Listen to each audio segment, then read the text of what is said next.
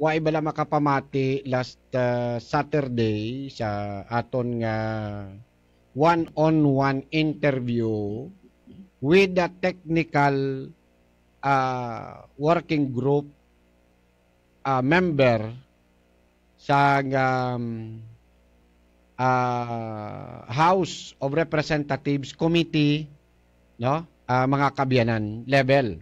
Particularly uh, technical working group nga amo ang gin uh, task it uh, mga congressmen to prepare sarayang uh, substitute bill uh, nga naga-propose to create the Boracay Island Development Authority or BIDA. Rayang controversial nga BIDA. We are doing this, uh, mga abyan, para nga um, mabalance ninyo naton ang information. No because we've been hearing a lot about the the side sa mga naga-oppose uh, mga kabyanan sa bida GOCC may mga pumuloyo kita nga galitik man ang ulo iti kita mo na permi kundi hindi inda nga mga no to be which for them ano nang ginamin anong issue da? How? Anong ano gid ang ano ang issue kung i-create ang Boracay Island Development Authority uh, mga abyan no? Nga ang magiging function sa BIDA uh, authority is to regulate no? The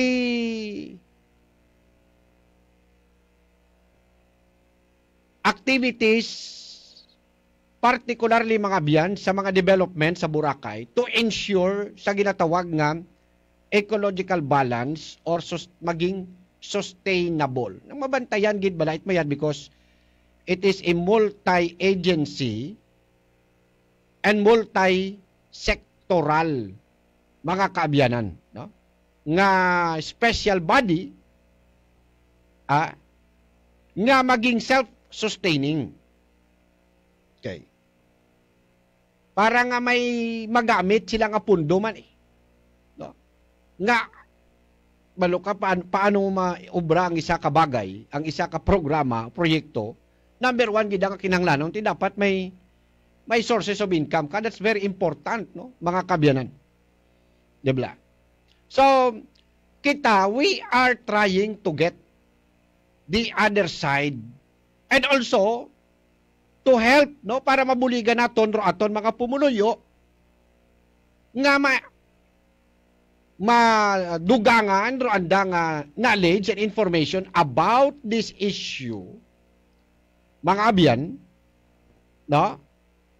So that if time comes nga may makaistorya sanda may may pagkakataon bala no nga pangayoon abi ro anda nga opinion man. At least bala makuha nila mab- mababalanse nila nga ay ah ti according sa inyo amo na but according man sa sa mga taga technical working group makara no? So si ano ba lang dapat naton pati? Bibla mga biyan. So kita bilang um, media outfit kag may access kanda kara again we are saying ginagamit naton nga maging dalan ha? nga maging instrumento sa raya nga mga informations. Okay? So isa-isa hunta. Okay? Una hunta sa mga tawo bla no? Ni nila buksan ta ang aton pinsar. Aton way kuya gam way kita di gahambal nga patihon yo gid kun ang aton is buksan ta aton pinsar No? Buksan ta. Basi man lang naunahan kita sang naunahan kita it uh, impormasyon nga ginapalapta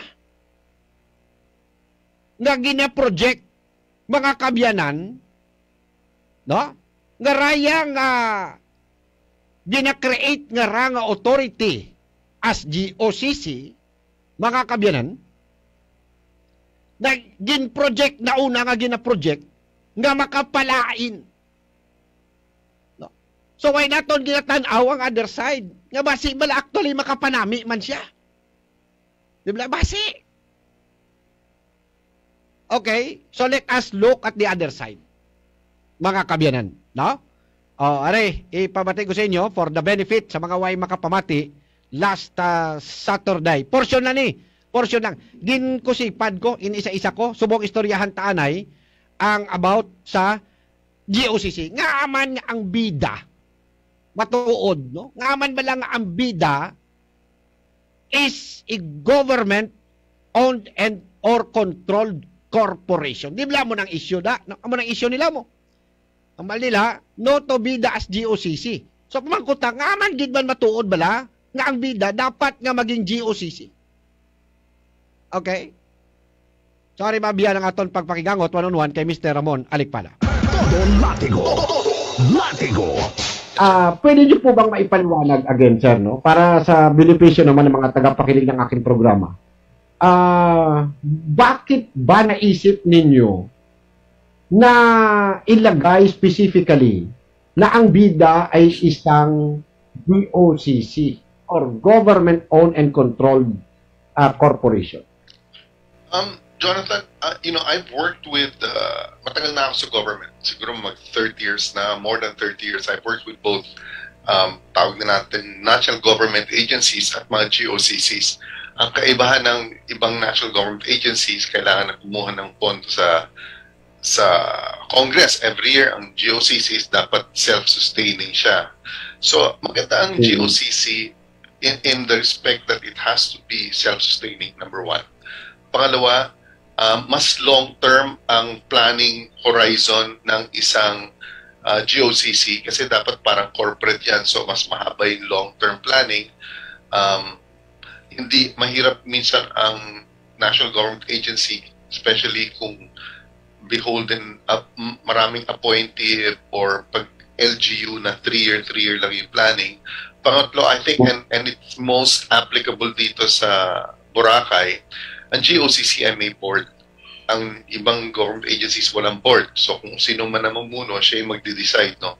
Ang GOCC may board. At dito sa, sa BIDA, dinesign natin na ang lahat ng stakeholders hindi lang dumadaan sa consultative process. Yung mga stakeholders, kung hindi kasama sila sa decision making process, nasa kasama sila sa board. So yung mga yung mga policies kailangan dumaan sa kanila. At ang maganda dito yung members ng board sa design sa bill na to, kasama ang mga national government agencies, ang representative ng mga Secretary of Tourism, DNR, DILG, um, nandyan, no? At, at ibang government agencies, ang representatives ng local government, ng province at ng LGU, nandyan, at representatives uh, ng private sector, especially those affected by any decisions of PIDA, nandyan kasama sa board. So, walang dadaan ng mga bagong policies na hindi dumadaan sa kanila. Oo. Hindi siya sir yung kasi ngayon ang ang setup even in other national government agencies or GAs sa local government, halimbawa may pinapasang palisiya ang sanggunian, Uh, kukonsultahin lang yung mga affected, correct. no? Yung mga maapektuhan ng mga regulatory ah, lo- local laws, no? Kukonsultahin ano epekto, anong tingin niyo ganito ganito. And um, yung private sector na tinatawag, yung tatamaan ng ng regulation, although nakakapag-voice out naman sila, but you know, but still that's ang nangyayari kasi ano na lang yan, compliance na lang yan, no? Na nagkaroon ng consultation. Pero kung ano talaga yung gustong mangyari ng ng ah, LGU for example or other government agencies, no? Ayun na matutupad. That is the reality, sir, no? That's the reality. Okay. Yes. Now dito sa DOCC, sa sinasabi mo kanina bilang dahil nga yung private sector na mismo that every time na may gagawing palisiya sa Boracay, sa ang board of directors na gumagag nagagawa ng mga palisiya at programa miyembro na mismo ang private sector. Precise. Hindi na sila yung kuko hindi na sila yung kukonsultahin lang, kundi may boses talaga sila. They can vote. They can uh, persuade and influence other members of the board. No, no, no, no. Masyado kami dyan. Masyado kami maapektuhan. Ma ayaw namin yan. So, may ganong, iba, ibang level no, no? Iba yung level na kinukonsulta ka lang at iba naman yung level na kasama ka sa mga magbibigay ng boto, suporta o hindi, o papayag o hindi sa decision making, sa palisiya na ginagawa. Magkaiba po yun. Ah, tama po ba pagkakaintindi ko? Precisely, Jonathan, you, you hit it on the head, the nail on the head. Oo. Exactly. Okay. So, they Ba- not only to approve, they can even propose, they can propose policies, di ba? Yun ang maganda Oo, doon. they can- Yeah, tama, no? So parang member talaga sila, no, ng legis policy making. Hindi, hindi lang parang. Miyembro Oo, talaga oo, ng mem- membro talaga, membro talaga. Oo. You know, ma- mahirap ang Oo. trabaho ng maging trabaho ng bida kasi they have to balance number one yun and dahil ang nangyari sa Boracay, environment. So they have to balance the interest of the private sector, the operators, um, and the environment. So may balancing act yan. So it's important na representative uh, represented ang mga stakeholders sa board. Okay. Sir, um, ah meron ba ang ah, kayong pagka, ah, na, nalaman, no, na isang ginawang authority, Hmm. no, na may binuong isang authority na hindi siya GOCC. Ah, lahat ng authority na alam ko ay GOCCs eh. Ah, Laguna Lake Development Authority, Loca, Panay, Panay GOCC ang ah, alam ko, Subic Bay Metropolitan Authority. So lahat ng authority na alam ko ay GOCCs. Maaaring meron dyan, ah, pero wala akong alam, Jonathan, na authority na hindi GOCC. Nung tinignan ko yung listahan ng ah, mga GOCCs or authorities under si sa governance sa commission Ah, uh, GOCCs. Sabi ko nagulat ako kasi kahit nga yung Philippine Reclamation Authority, member pala ng kahit Philippine Retirement Authority, kahit Tourism Infrastructure and Economic Zone Authority, kahit nga yung, yung Tourism, Philippine Tourism Board, no? Ah, ay miyembro, ay, ay automatic na dahil mga ito ay government instrumentalities, automatic siya na nagiging ah, GOCC. I mean, nagiging ah, G- correct, correct. okay. Yan, John. Oo. Philippine Coconut Authority, lahat po yan eh. At Oo. ang maganda, isa pa, you know, nabanggit mo yung GCG, Jonathan. Ang maganda rin sa GOCCs, regulated sila ng GCG. Ang ginagawa ng GCG, nire-review nila yung performance ng GCG, ng mga GOCCs para hindi ma-abuse um, in terms of salaries, in terms of ano, hindi maabuso ang pagpatakbo ng GOCC. Hindi gaya dati. Ginawang milking cow yung mga GOCC. Kaya nilagyan ng GCG. Sila ngayon na ngayon ang nagre-regulate to ensure that the GCG, the GOCCs are properly run. Pati yung mga appointees sa board, eh dumadaan sa GCG to make sure that they are highly qualified. Mm. Sir, ah may mga tinatawag kasi ah, ako ni-review ko rin no yung ah, mga existing na mga authorities na GOCC. Ah, may mga attached agencies sila no, attached agency. Halimbawa yung TAAP, ah, attached agency ng DOTR, mga gano'n no. Ah, LLD, attached agency ng DENR. Ang Boracay po ba na Development Authority, ah, saan po ito magiging attached agency? Well, ideally, we wanted it to be part of the um, Office of the President, but it will either be, uh, hindi, kaya na sinabi mo, it's still uh, a work in progress yung bill. Most likely, it will be uh, an attached agency to DENR, or maybe if uh, the President sees fit, or the, rather the, the Congress sees fit to make it part of, kung pwede NEDA, pwedeng tourism. So, Okay. ganun ang pasado, pasa. Alright. Okay, sir. That's it? Oh, yun. Ang todo sa galing, todo sa tapang, at todo sa kakulitan na anchorman. Ang boses ng bayan, a veteran media man, a genuine public servant, walang kinikilingan, tagapagtaguyod ng katotohanan, Katodo Jonathan Cabrera. Ma malawig-lawig paning uh, kwan mo mo. actually nga tulunan ang uh, ining ginatawag nga government owned and controlled corporations and or no uh, controlled corporations. But the gist mabyan of the explanation uh, base sa ila no ni mga taga TWD they're the ones nga nagkuan abi mo nag um, nag-research and nagbutang bala no sa mga provisions which unfortunately uh, and they admitted man no nga dapat pagid siya nga i-polish. Dapat pagid siya because according to them it's a work in progress. It's a work in progress. Ah uh, mga abyan but according to them ang pinaka ang pinaka objective bala no nga nara sa mind nila when they're crafting this uh, bill uh, mga abyan is that it's a GOCC because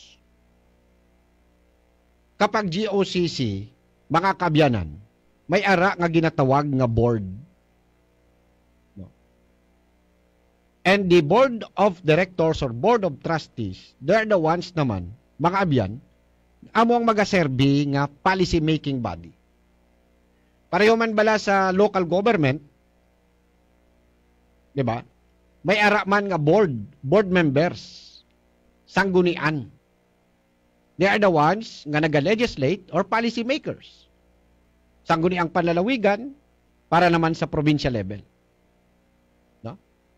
So mayroong sanggunian. Ang kinaiba sa GOCC, mga kaabyanan, ang ilang uh, legislative body, policy making body, mga abyan, okay, ini ginatawag, ang panawag kanda are Board of Trustees or Board of Directors. No? Sa local government, ang nagapungko da nga mga miyembro it board, no? mga board members, mga biyan, they are there as elected by the people. No? Ginboto sa itawo, mga biyan because eh, balumanta kung anong rason nga man nga ginaboto ka sa tao.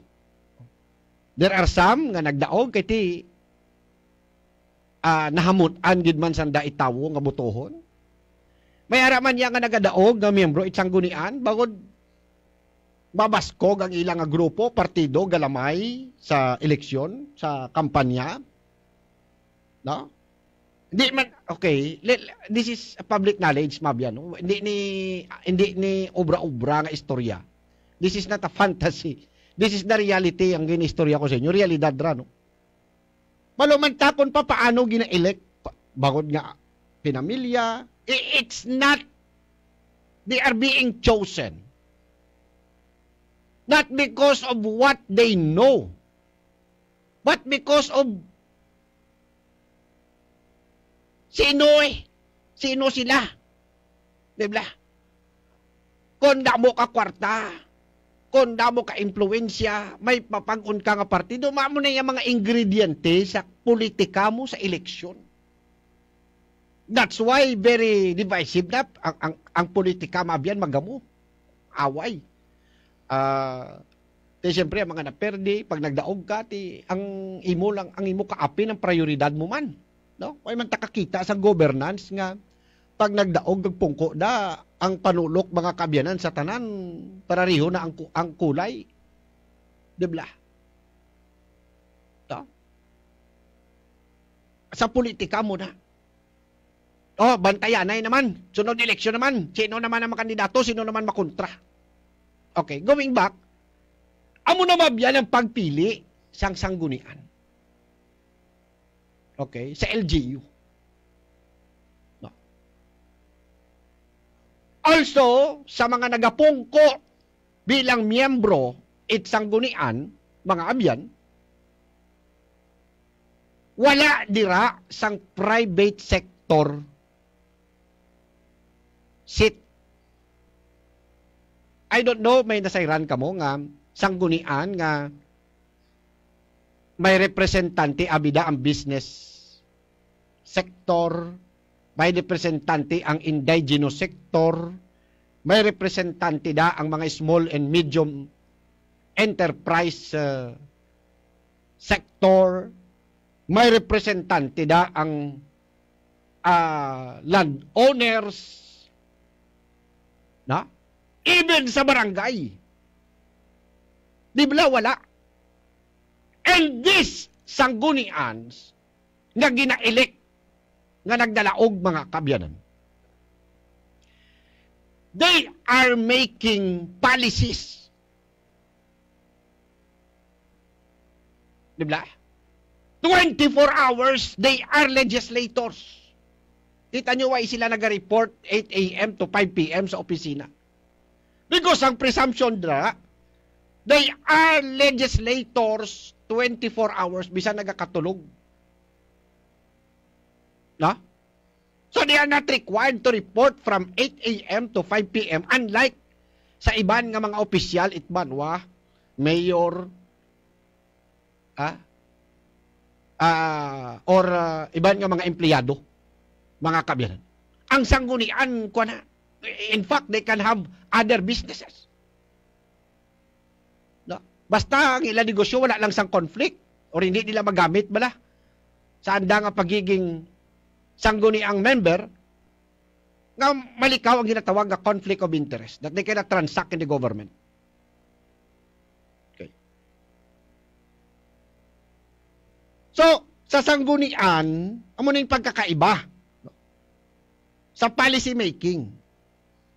Sa sanggunian, wala, wala na. Kung may i-propose man nga ordinansa, for example, kung may i-propose nga policy or programa, ang sanggunian and they are required to conduct a public consultation, then they will consult these sectors. Konsultahon lang.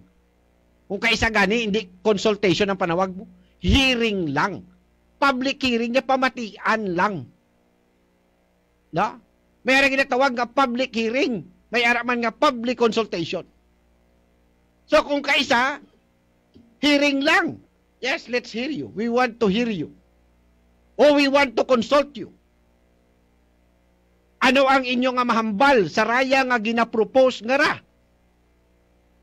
Private sector. Kamo ang maapektuhan. Ano inyo makomentar? Halimbawa, bi, mapadugang kita sukot sa amo ni.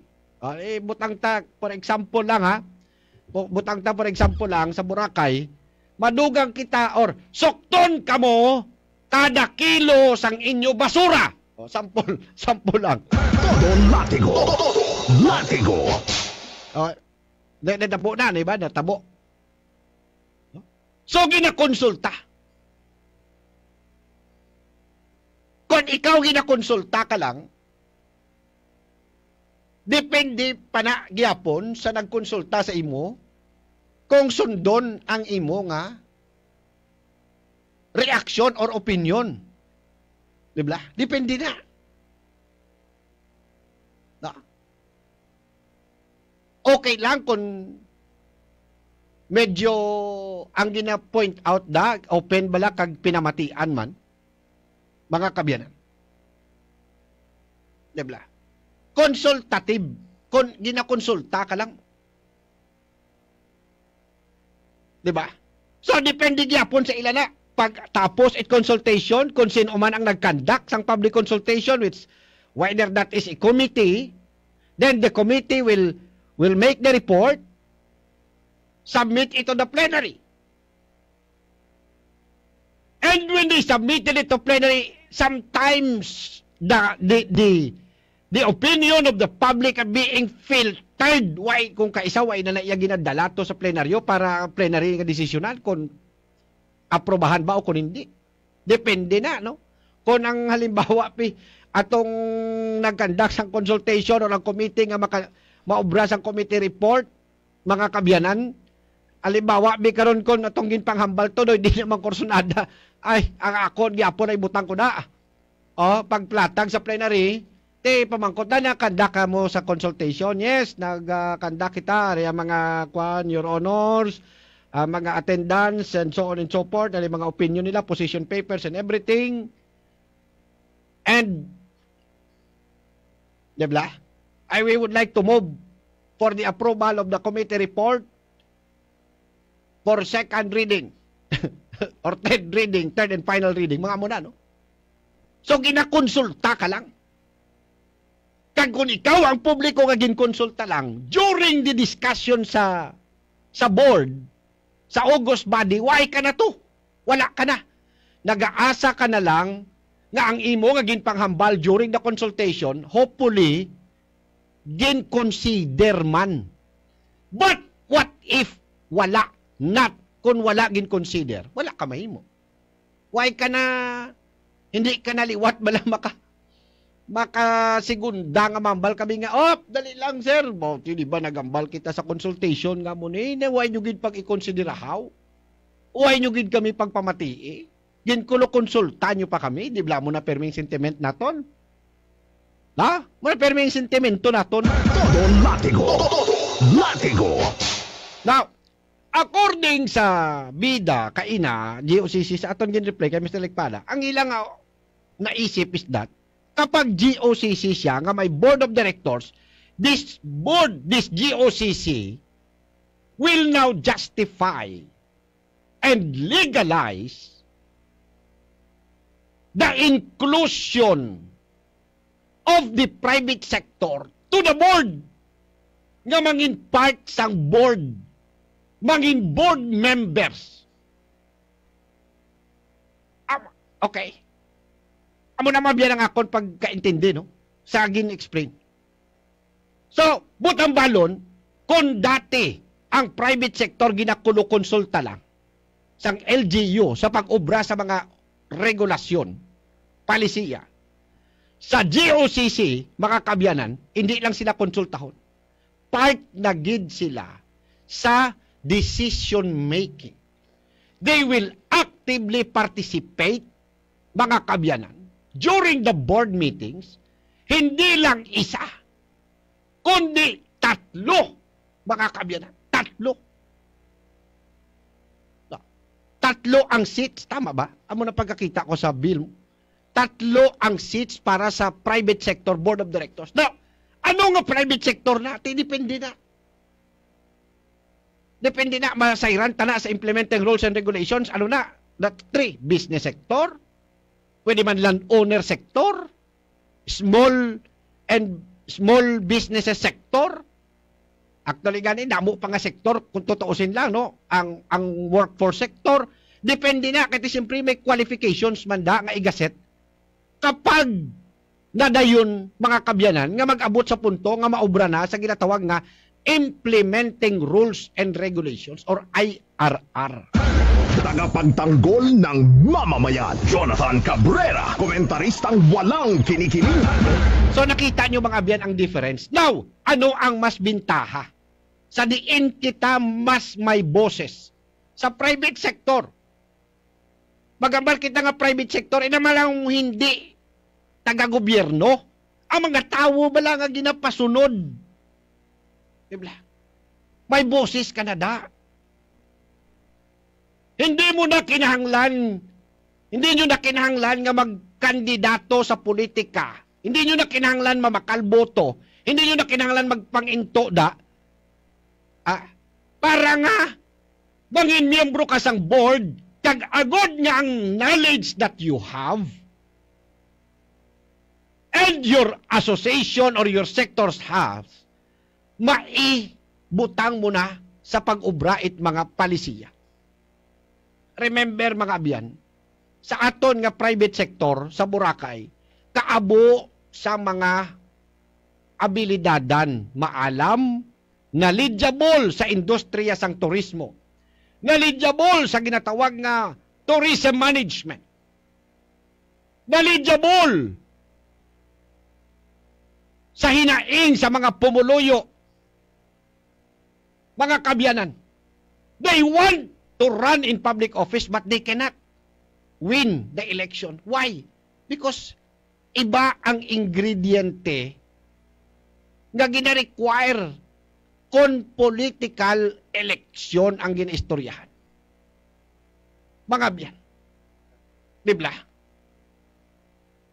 Which nasasayang kaabo sa mga stakeholder sa Boracay nga muna.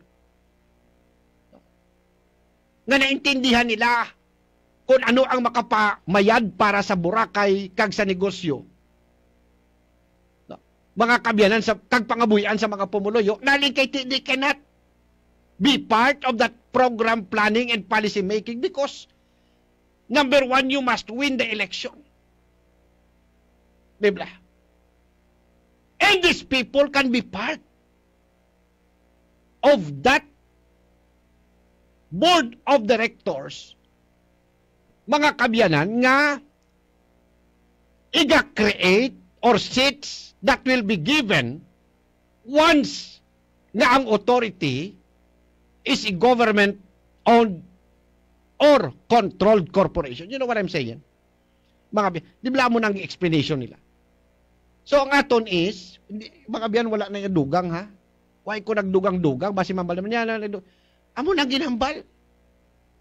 Amo nang pinaka-objective kag purpose. So which is good? Diin sa duwa ang mas manami. Ha? I, I hate comparing mga kabyanan, but you know, sometimes you need to check eh. Din, din lang mas mabugat, na, din, din ang mas makapamayad between the two. Tagapagtanggol ng mamamayan, Jonathan Cabrera, komentaristang walang kinikilingan. Okay. So mo na mabyan ang ilang ambal.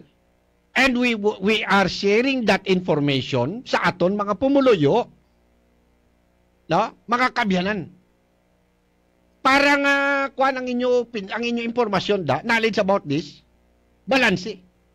Hindi lang kita yung nagabase lang sa ginahambal sa mga nagakontra sa pagtukod sa bida mga biyanas GOCC. Kag again, mugaligin pamangkot ko siling ko meron bang kinawang authority na hindi siya naging GOCC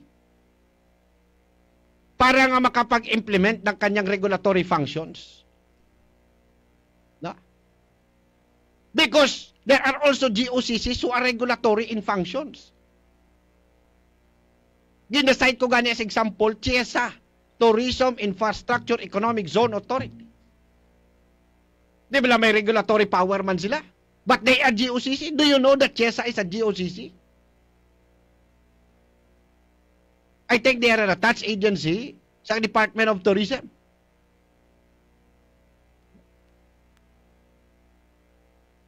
So ano ang ginakahadlok naton kung GOCC?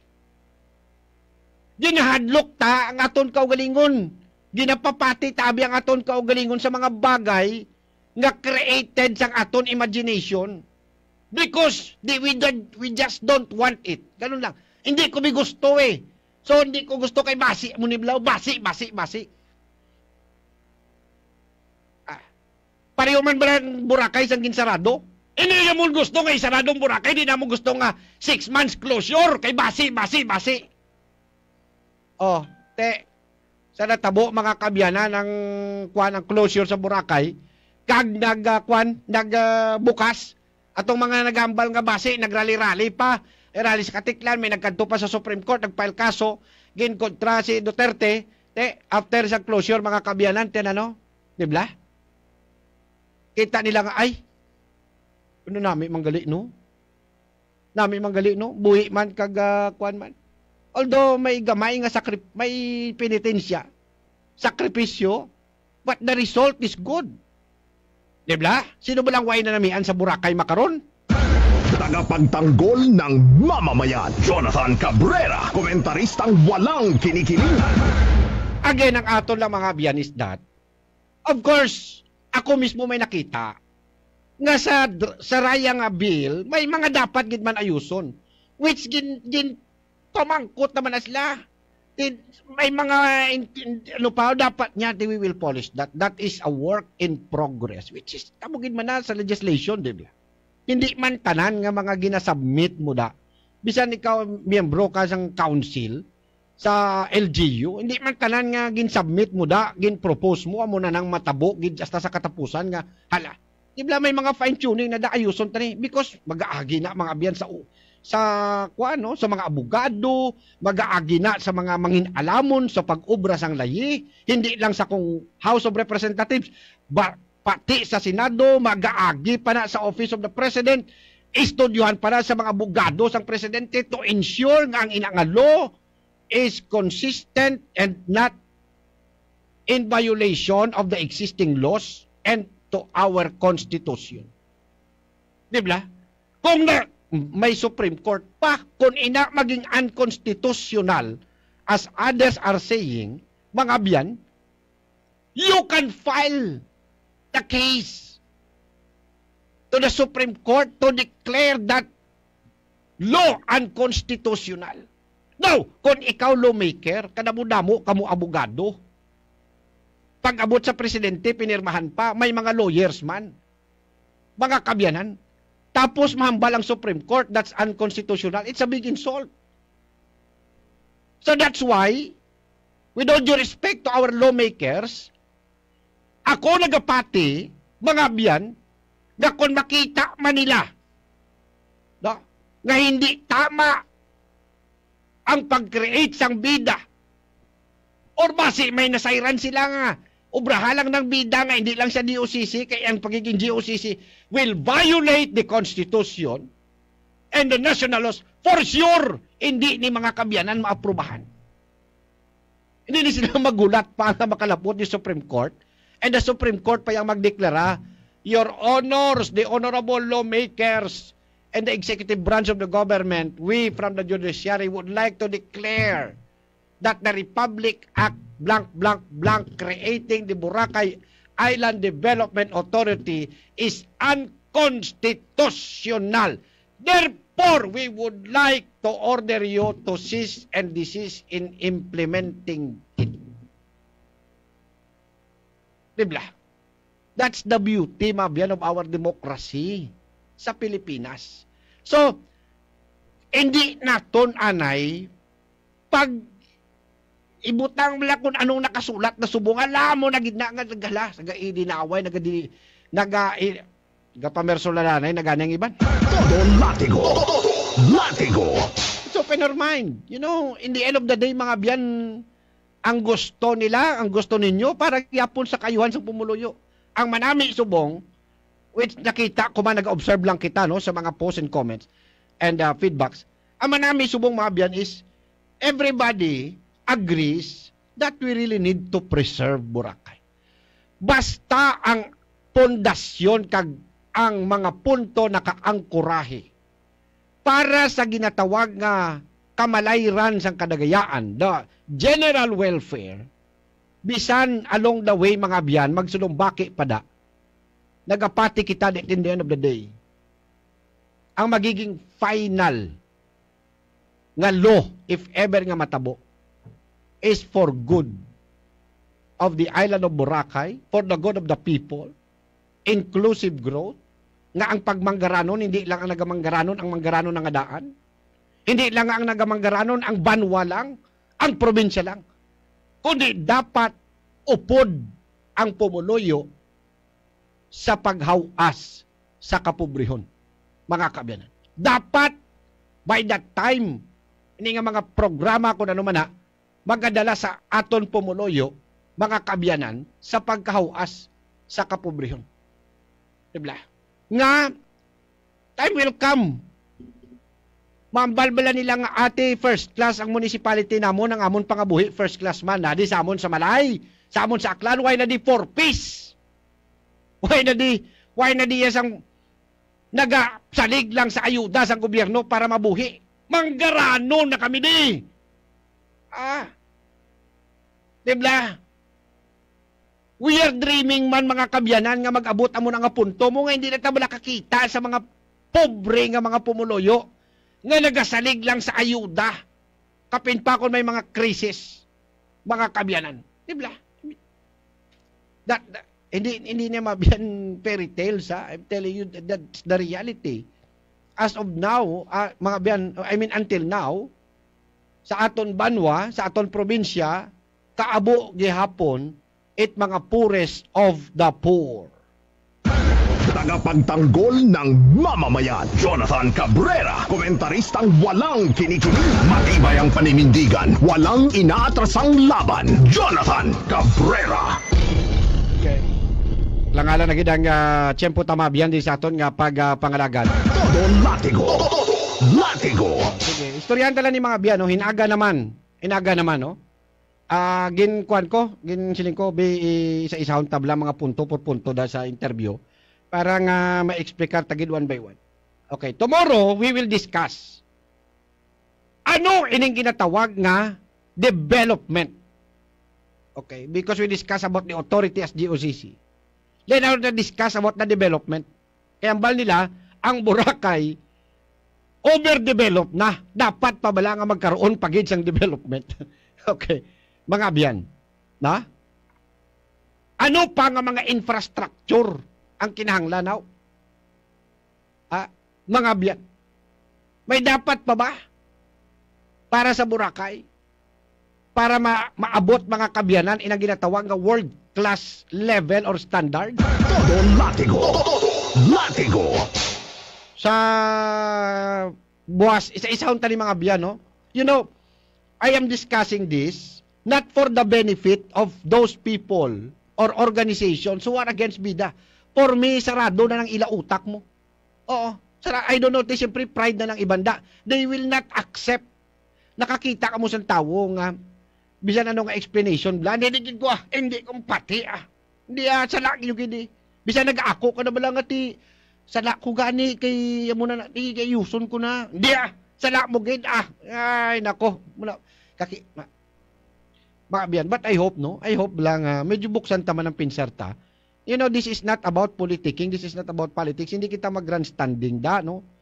Ah, mga biyan or wala kita di ako way ko di sang ginagsulo nga personal nga interest. I am not running for any public office. Mga biyan, hindi ko yamang manggaranon da. In fact, I'm telling you, kung makreate inang bida, I will not participate. I will never be part of that.